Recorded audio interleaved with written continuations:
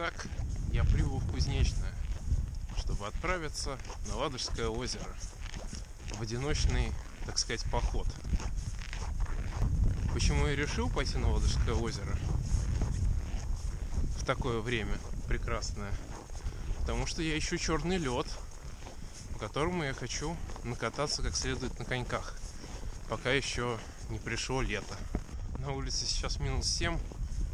Я зачем-то одел поверх термобелья лыжную кофту и ветровку. И взмок как собака. Поэтому вот не знаю, что теперь. Итак, я оставил ой, дорогу позади. Задолбал уже по ней идти, если честно.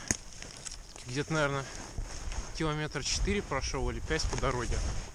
Сейчас штурмую леса, потому что тропинку, отмеченную на карте, я, естественно, не нашел.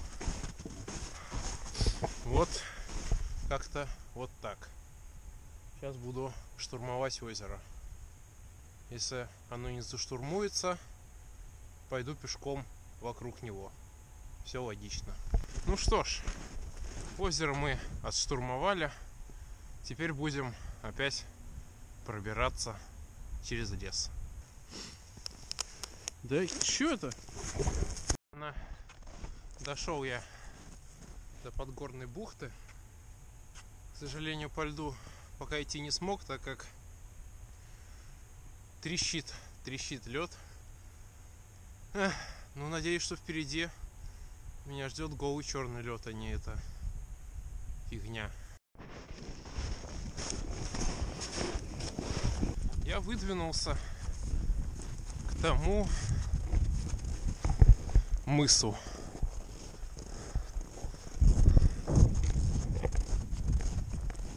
Ну давайте тогда, не знаю, встретимся на нем. Оп! Оп! Ну, конечно, до мыса я не дошел, потому что не вижу смысла, потому что, собственно, все как бы на лицо. Лед есть. Скоро, возможно, после того, как разобью лагерь, если я найду еще где разбить лагерь, буду кататься. Спустя каких-то 5 минут я нашел место. Здесь есть прекрасное костровище, пеньки, на которых можно сидеть или колоть дрова, столик, один столик, два, собственно, зона для катания на коньках, достаточно обширная. Вот там я буду ставить свою палатку. В принципе, думаю, что ветер попадать сюда не должен. Оп! Спустя каких-то 30 минут я ее все-таки собрал. Забыл, забыл клапан верхний. Так что ночка, видимо, будет свежая. Ну да ладно. Буду закидывать вещи-то в палатку и... И не знаю. Момент истины. Так.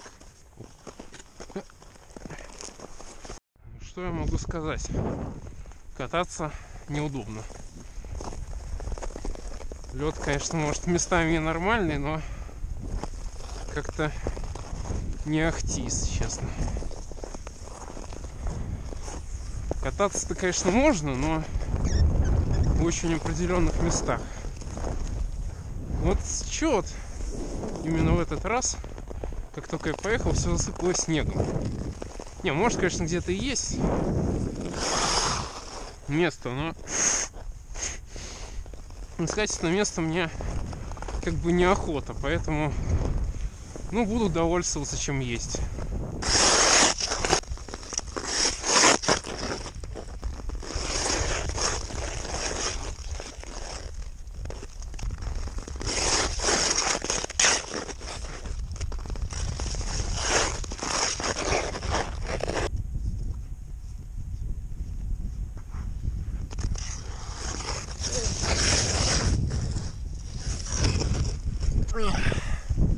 Прикольно. Ладно, наверное, надо ехать в лагерь, заниматься дровами. Я ничего лучше, короче, не придумал. поставлю просто так. Поэтому... Что я могу сказать? Гречу я немного не доварил, но в принципе съедобно. Срочное включение Сладожского озера.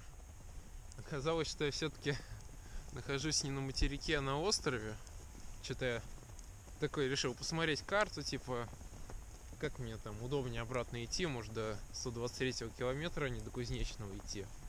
Такой смотрю, оп, а я на острове. Ну реально, ну видно вот все, там же... А, ладно.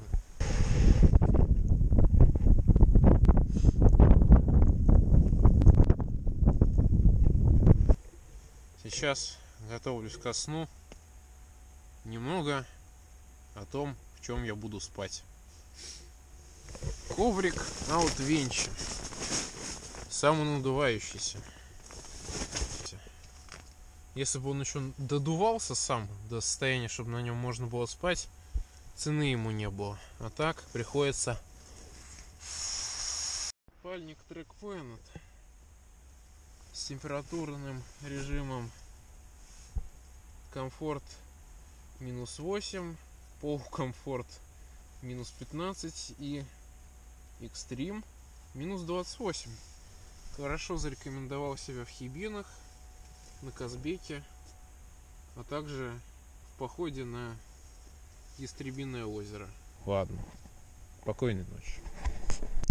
Ну что, с добрым утром. Хотел бы сказать, что я только проснулся, но нет. Я проснулся где-то в 5 и что-то как-то уже не спалось. Спал как бы вот по, диаг... по диагонали, и то как бы у меня ноги не помещались. В общем, с этой палаткой я, скорее всего, больше не пойду. Ну, видимо, все засыпало.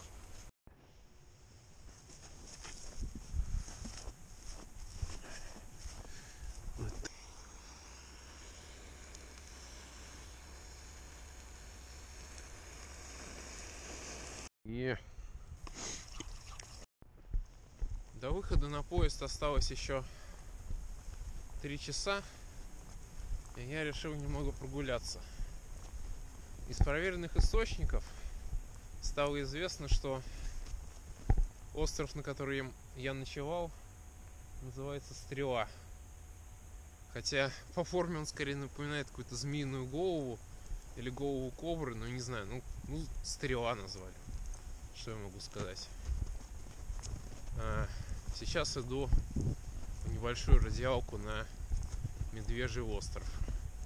Вот он. Оп! Ёп.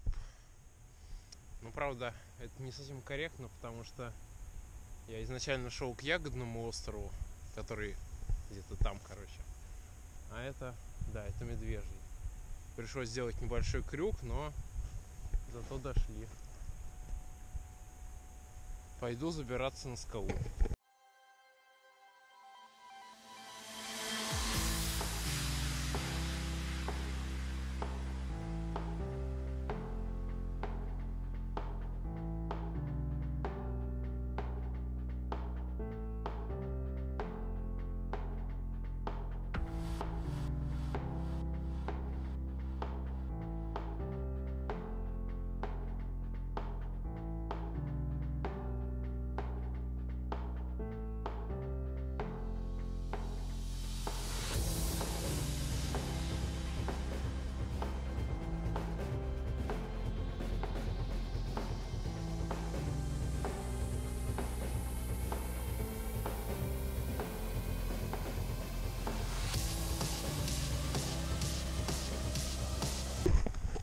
Ну, как-то вот так.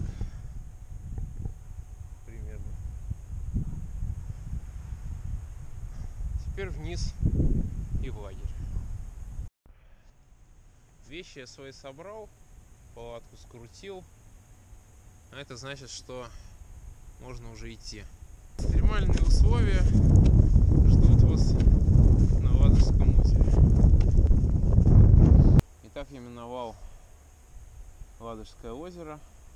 Теперь после небольшого перерыва и перекуса пойду уже прямиком через лес до Кузнечного.